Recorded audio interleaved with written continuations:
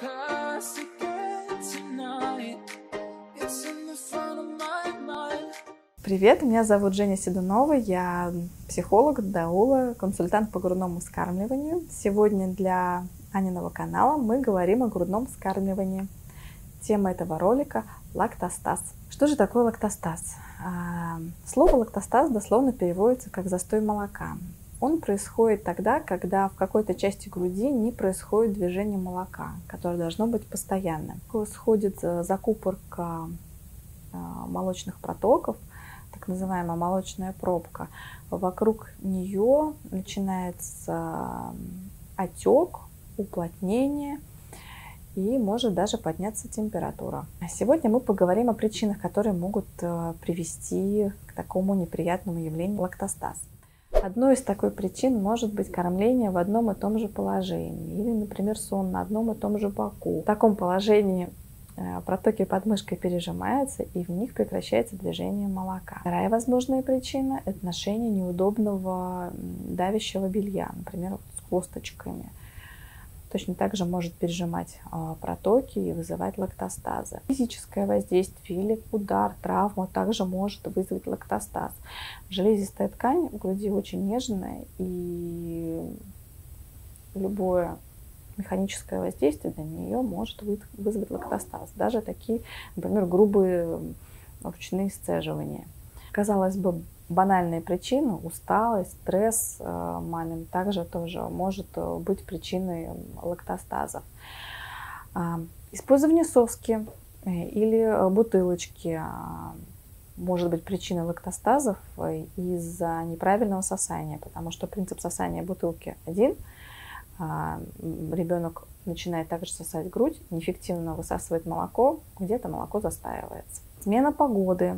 Некоторые консультанты наблюдают такое явление, что при резкой смене давления, а, скачков температуры, некоторые мамы обращаются с лактостазами в таких ситуациях. В случае жаркой погоды часто мамы забывают пить, и от обезвоживания также могут э, быть лактостазы. Что еще может быть причиной лактостазов? Это так называемые необоснованные сцеживания. да. Когда мама кормит грудью и дополнительно еще сцеживает так называемую как досуха грудь.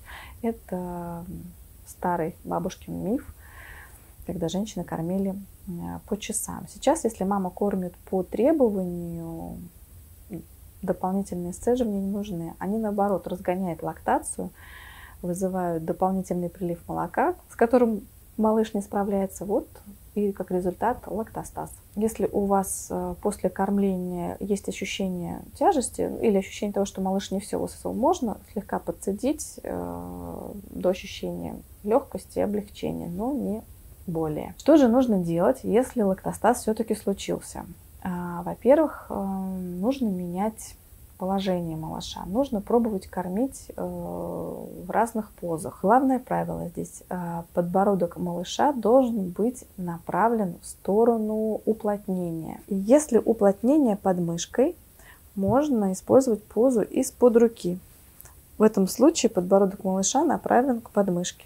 Да? И кормить в таком положении. Если уплотнение в середине груди, кормить можно лежа на боку.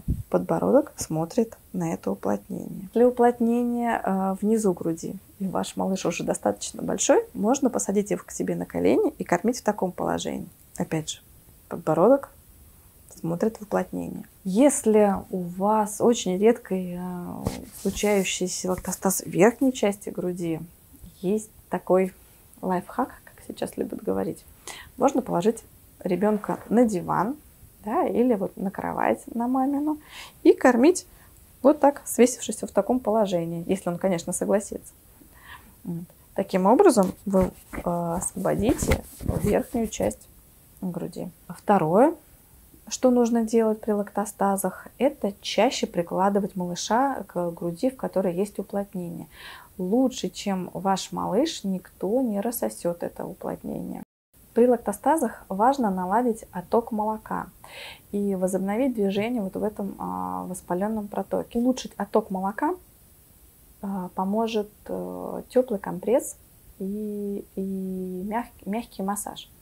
Но это в том случае, если у вас нет температуры, а только уплотнение. Итак, вы делаете теплый компресс э, на 5-10 минут, э, легкий, мягкий лимфодренажный массаж с помощью масла можно сделать мягкими вибрирующими движениями в сторону выхода молока да, по уплотнению сцедили, а, приложили малыша, покормили. В процессе кормления также можно а, потихонечку массировать место уплотнения, но очень нежно и аккуратно. После сцеживания кормления можно приложить а, прохладный компресс тоже на 5-10 минут. Еще раз повторюсь, это в случае, если у вас нет температуры. Если все-таки у вас поднялась температура, ни в коем случае нельзя греть место а, застоя. Здесь также важно а, нам наладить отток молока.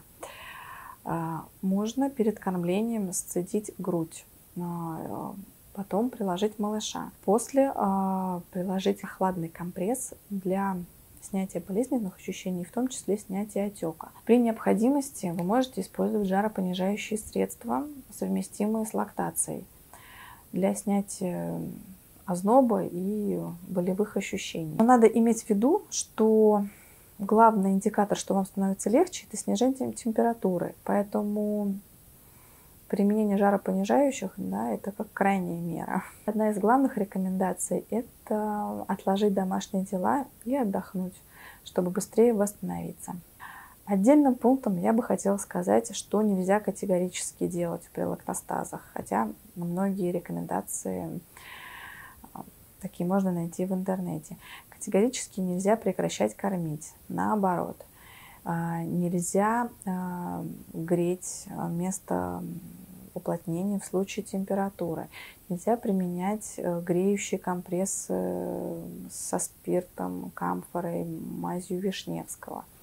Нельзя себя ограничивать в жидкости, пить по жажде. И, и ни в коем случае не давать никому, кроме малыша, рассасывать вашу грудь. В случае быстрых и правильных действий при лактостазе боль, уплотнение проходит через а, сутки-двое.